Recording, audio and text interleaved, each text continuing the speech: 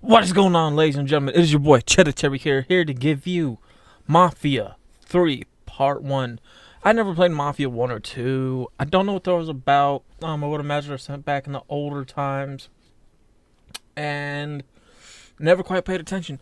So, I'm playing Mafia 3 because it looked good. Now, this is muted. Um, I have to cut out all the sound for this YouTube version because of copyright ordeal.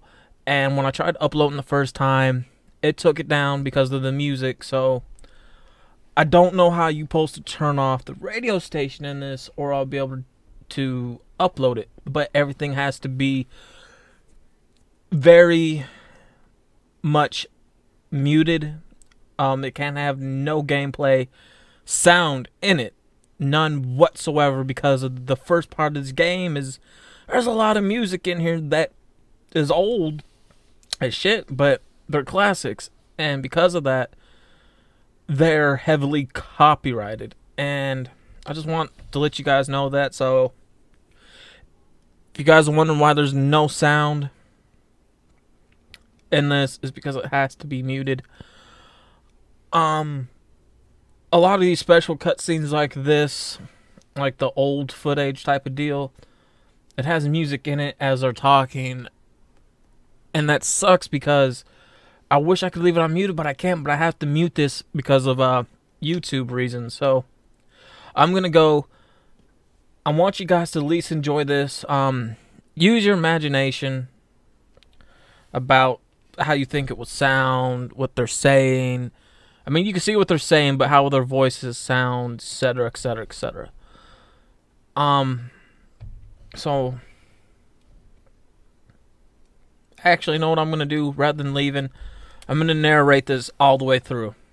So you guys have at least something to listen to as this is being progressed and things of that nature. Okay. I like this footage, man. I, I like how they're doing the old fashioned flashback footage. Um, how they're talking about uh Clayton is his name, I believe. And he may have got he may I, think he may may have died. I don't know. Or he may have escaped or he may have gotten you know captured, arrested, things of that nature. I'm not too sure. Um thing that I like the most, I like to how the graphics look especially with this footage, like it looks so real. You know, like they're using old time footage from uh, the '60s. Um, this game takes place in New Orleans, um, in the deep part south of it. There's a lot of racial profiling back still back then, as there is today. Um, it feels like a Grand Theft Auto game. I like the story. I like the graphics. Um, it controls a the, the controls a bit weird. Um, I feel though as if the mechanics with the controls could have been a bit better. Um, I wish it would have been like GTA controls. I mean, I, even though it's not, there is free roam in it, but you're only limited to do so much in the game, too, as well. That's how it feels towards me. I mean, I could be wrong. I mean, there might be more controls how stuff unlocks later on during the process of the game.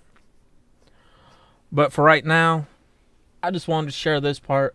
I'm going to go. I want you guys to enjoy the rest of the gameplay. Um, it might be silent, I get that. And then after that, I'll be working on a part two of this. So I'm out. Peace.